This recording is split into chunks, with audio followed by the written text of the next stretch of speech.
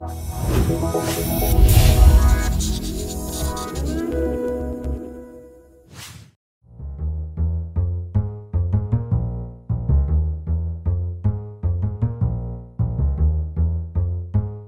ik ben Anne.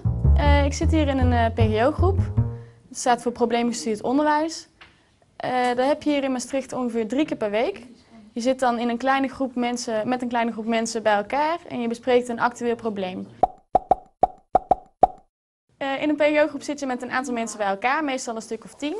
Je hebt er ook altijd één tutor bij zitten. Dat is uh, vaak een ouderjaars student hier of een, uh, iemand die werkzaam is aan de universiteit. Naast die tutor heb je in, het, in de onderwijsgroep ook een gespreksleider. Dat is altijd een van de studenten zelf. En de gespreksleider die stuurt ook het gesprek. Die vraagt aan andere studenten wat zij hebben gevonden in literatuur of hoe andere mensen over bepaalde dingen denken. En die stimuleert eigenlijk heel erg het gesprek en de discussie tussen alle studenten. Een andere functie die je nog hebt in de onderwijsgroep is de notulist. De notulist die staat aan het bord en die schrijft eigenlijk alles op wat er gezegd wordt.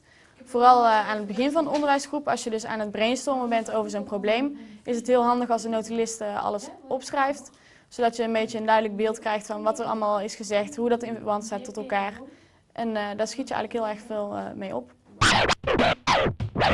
In mijn allereerste onderwijsgroep kwam, kwam ik bij een meisje terecht. En, ja, dat klikte eigenlijk meteen. Ik heb daar de eerste acht weken in Maastricht met, meteen mee opgetrokken. En ik zit nu in het einde van mijn tweede jaar en zij is eigenlijk nog steeds een van mijn beste vriendinnetjes. Dus dat is echt super leuk dat je ook in die onderwijsgroepen gewoon je, je vrienden leert kennen.